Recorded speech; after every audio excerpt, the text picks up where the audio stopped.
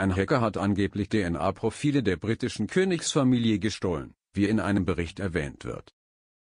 Der Bericht besagt, dass ein Hacker, der sich online als Gollum identifiziert hat, genetische Profile von 4 Millionen Menschen im Darknet veröffentlicht hat.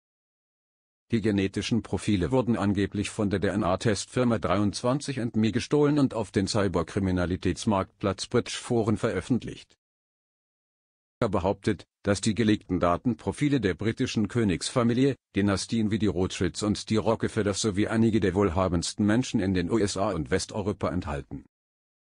Die Identitäten der Mitglieder der königlichen Familie, die vom Hacker ins Visier genommen wurden, wurden nicht enthüllt. Die königliche Familie hat bisher nicht bestätigt, ob der Datenverstoß legitim ist, aber TechCrunch hat die Echtheit des Lecks unterstützt.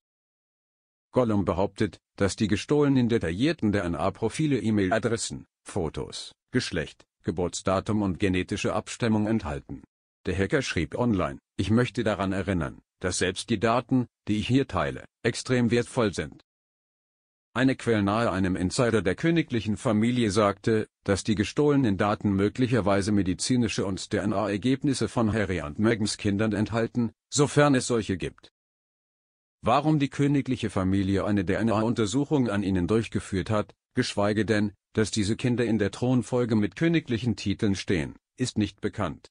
Die Bevölkerung des Vereinigten Königreichs hat ein Anrecht auf den Nachweis ihrer Legitimität, der bislang nicht erbracht wurde.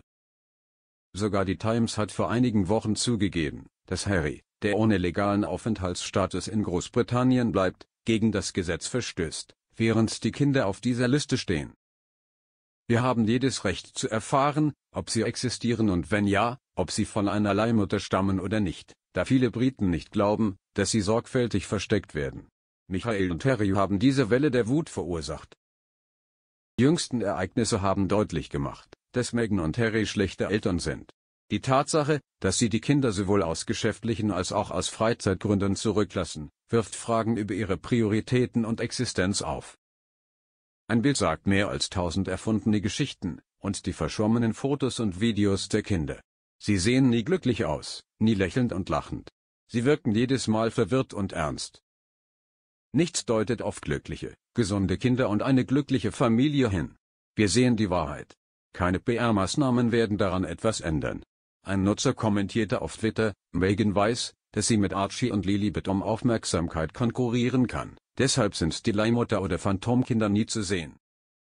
Narzissten wollen normalerweise nicht um das Rampenlicht konkurrieren, wenn sie es verhindern können.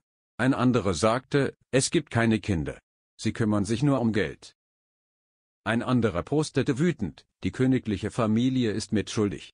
Es gibt keine Möglichkeit, dass die Monarchie, MI6 und so weiter nicht jedes Detail von Archies Geburt kennen.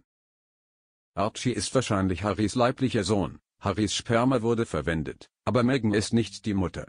Sie vertuschen es. Etwas ist dort nicht klar. Meghan, wie immer, ist eine Feigling und will die Kinder nicht im Vereinigten Königreich. Die Katze ist aus dem Sack, Meghan und Harry haben eine ganze Geschichte parat, falls sie darauf angesprochen werden, ob Meghan die leibliche Mutter der Kinder ist. Warum sie alles versteckt haben, verstehe ich einfach nicht.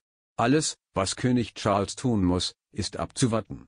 Vergessen Sie nicht, diese Kinder wurden während der Regentschaft von Königin Elisabeth, nicht während der von König Charles, geboren.